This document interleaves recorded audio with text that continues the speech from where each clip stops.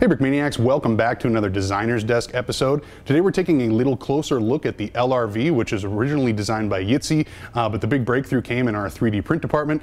Uh, so while we do have two astronauts sitting on here, those are the minifigures of the month, but they are sold separately from the LRV itself. Uh, but now we have Camera Guy joining us. He's the head of our 3D print department uh, to take a little closer look at some of the uh, cool new updates that are featured in this LRV. Yeah, hey everyone, it is Camera Guy here. I finally get to be on one of these videos. Imagine that. After years of filming them. So yeah, um, I'm kind of a, I'm kind of a resident space nerd. I'm, I'm, I'm just huge into all this stuff. And so uh, Dan asked if I wanted to take a shot at designing some parts for the LRV, and, and I just jumped at the idea. I was like, oh yeah, I'm I'm all over that. So we have our four wheels here. We have a set of four fenders. Um, we have the high gain antenna there. High gain antenna, right, there we go. I, had, I, had, some confusion as to what that thing was when I was originally researching it.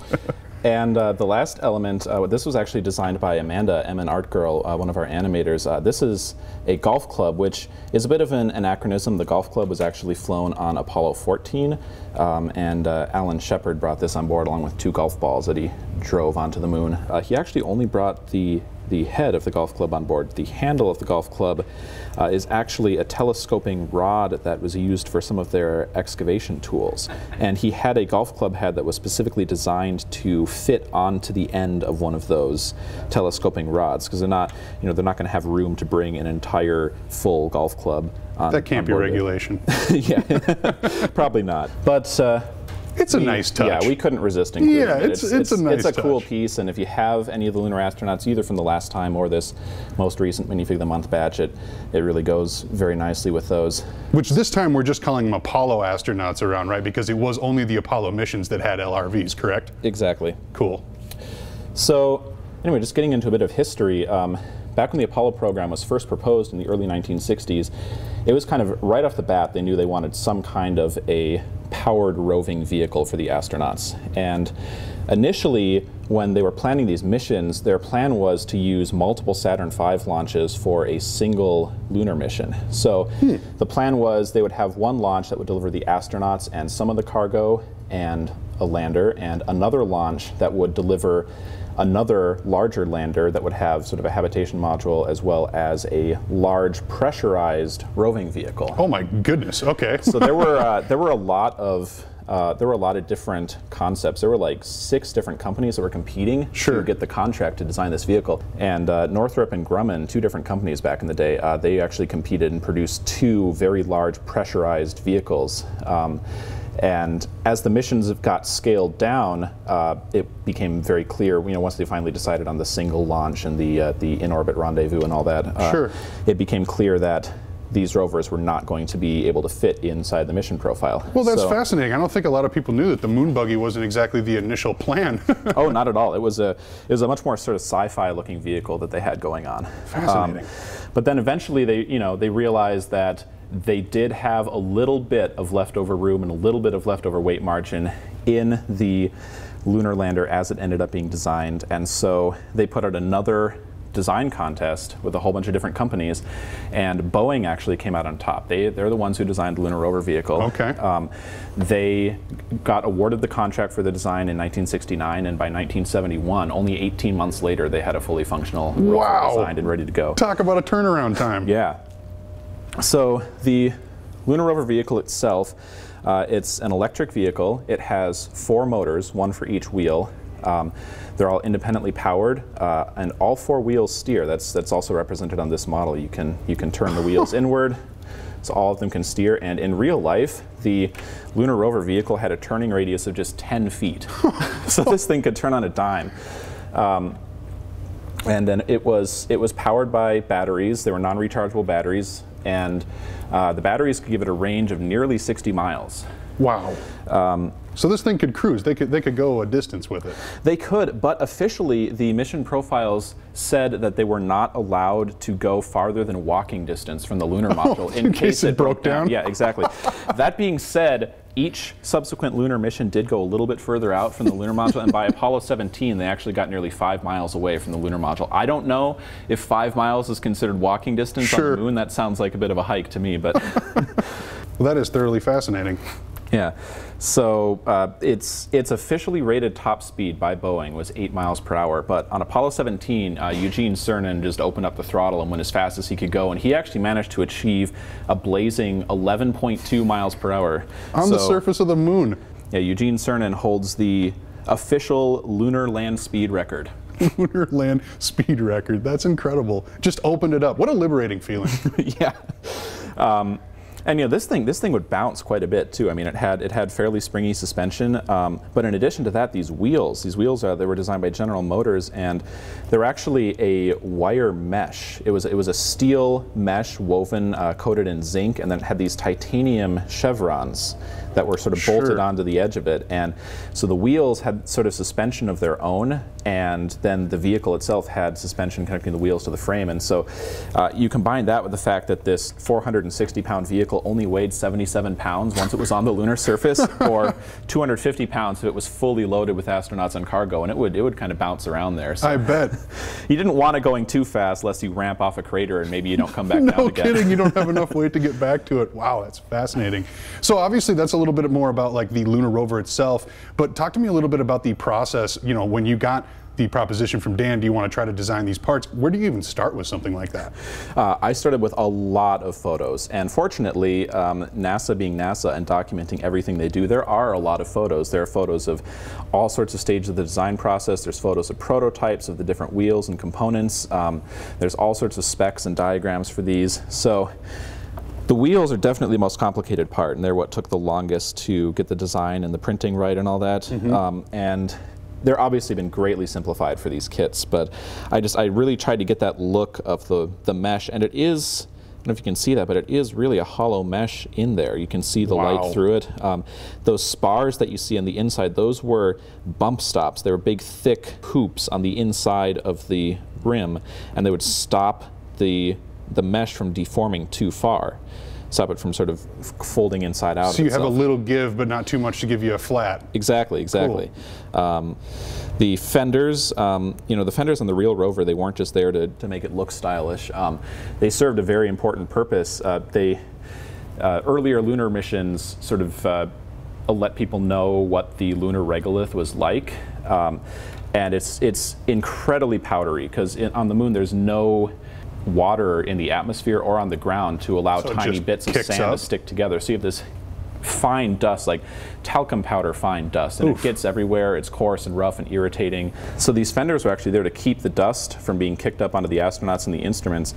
Um, on Apollo 16, they broke one of the fenders, and it ended up covering both the astronauts really badly in dust, as well as the entire rover, rover to the point where the rover actually started overheating.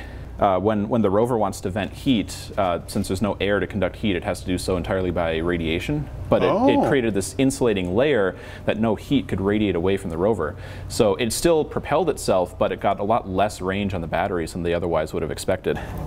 So the batteries that powered this vehicle, actually the primary way that they were cooled, they were encased in a wax and the wax had a relatively low melting point. It was a solid block of wax when it was unloaded, and as it drove, the heat from the batteries would go into melting that wax.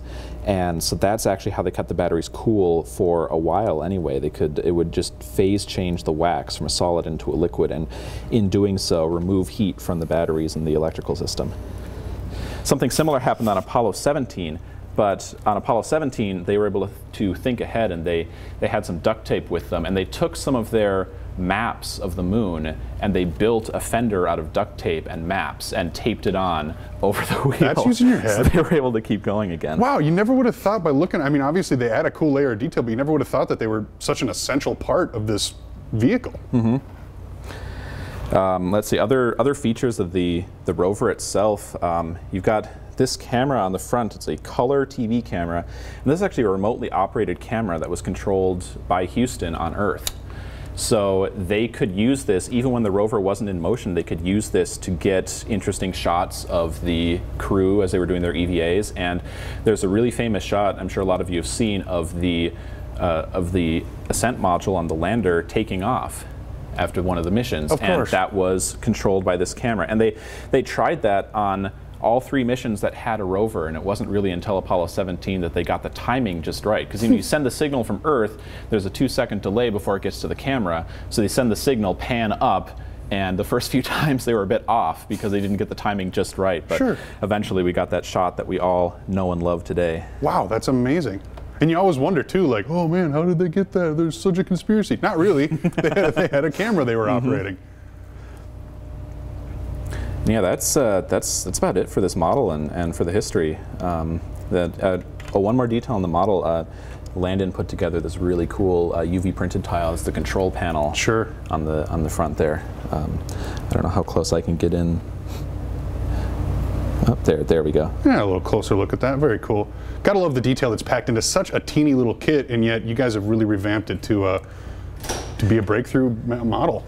And it does. Um, it can actually fold up. I can. Uh, Oh wow, really? Yeah, it. Uh, you have to take, like the real thing, you have to take most of the instruments off. You have to remove the antenna. You have to remove the, the camera. This is all stuff that they would have attached or unfolded uh, after it was. But you have the the front of the Oh, vehicle. wow. oh come on. There we go.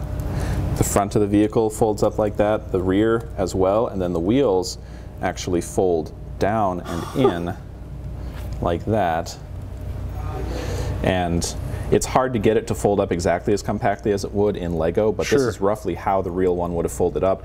And on the real one, from the top down, it would have looked like a triangle. And then it fits perfectly into a little triangular uh, hole in the side of the lunar lander. And then that's how they unload it. Wow.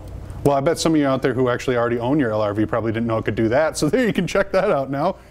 So one detail about these wheels, when you get your model, uh, you'll notice there is actually a right and a left hand version. So the chevrons, they face forward when they're going over the top of the wheel. So just make sure when you're putting on your wheel, you get the right on the right side, you get the left on the left side. So you see the chevrons face forward there. And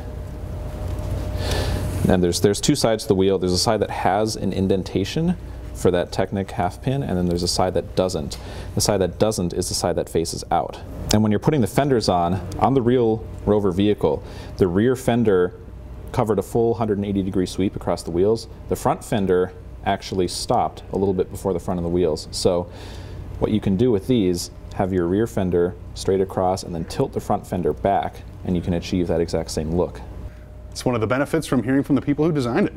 All right, now let's toss it over to Landon and take a little closer look at the minifigure of the month, the Apollo astronaut. Okay, hey, it's Lando here with the minifigure of the month. You've seen this guy before. Um, we've released him in small quantities. Now we have him for a, a bit bigger of a Yeah, much more bigger- plentifully yeah, available. More availability now. Obviously goes perfectly with this kit. Um, and I, I have an I have an older review for this. If you want to check that out, there'll be a link in the description. That one was technically called the lunar astronaut, Right. correct? This is the Apollo astronaut. Yeah, that's right. Um, same artwork on this one. Uh, I think there were a lot of people that didn't get a chance to uh, get this guy just due to the limited quantities. And we figured since we're coming out with this uh, awesome lunar lander, let's uh, let's bring this figure back. Um, of course, we have um, two amazing 3D printed parts on this guy: the helmet and that life support, the PLSS. Right? Is that what that is? Yeah, PLSS, Portable Life Support System. Yes, the portable life support system, that backpack. Um, there are some just amazing diagrams out there that show how all this stuff works. And um, just, I guess, like Camera Guy, I was poring over a ton of source images while designing this guy. Um, based off of um, this, the overall suit is is kind of a direct lineage from earlier uh, Navy pressure suits. So for the U.S. Navy. Uh, doing lots of uh, um, experimentation with this, and it's actually really interesting. Underneath this kind of the white protective layer on this suit, there's this kind of bright blue and orange suit with all these laces and expansion ports. Um, it's it's totally looks sci-fi underneath of this. I mean, this suit already does look sci-fi. No kidding. But underneath of this, um, underneath of the protective coating, you'll just see exactly where a lot of um, different sci-fi movies are getting their spacesuits from because it's all underneath of this. Um, really cool. Um, but um, yeah, all these different nozzles and ports for oxygen and um, just maintaining um, a life support system uh, for the astronauts. Um, and I guess the biggest thing they had to overcome was mobility in that in that negative pressure, in that no pressure environment. Um, since they have to have a one Earth pressure atmosphere inside of the suit, it's a bit less than one Earth atmosphere, I believe. Um, but it actually would balloon out on them. So they actually had to have this internal harnesses and cables and pulleys just so they could move their arms around. And the, Wow. that, the gloves alone are just kind of a miracle of engineering. Um, just all the little cables and pulleys that just they have t- so they can even move. Um, it's it's really really fascinating to see how that the whole suit was uh, put together. So Well, and it gives you an idea of how the entire thing has to work in harmony. You know yeah, what I mean? yeah, absolutely. So a lot of fun researching this. Um, so yeah, again, this is a direct lineage of, of some really uh, amazing um, Navy pressure suits um, that we've had a chance to design here before and, and show off. So it's it's cool to get one of the later pieces uh, of of um, you know, history designed uh, in minifigure form. So I had a lot of fun making this. So there you have it, the designer's desk for the new and improved LRV uh, and the minifigure of the month, the Apollo astronaut. Once again, remember these two things are sold separately. Both of them are available right now at brickmania.com.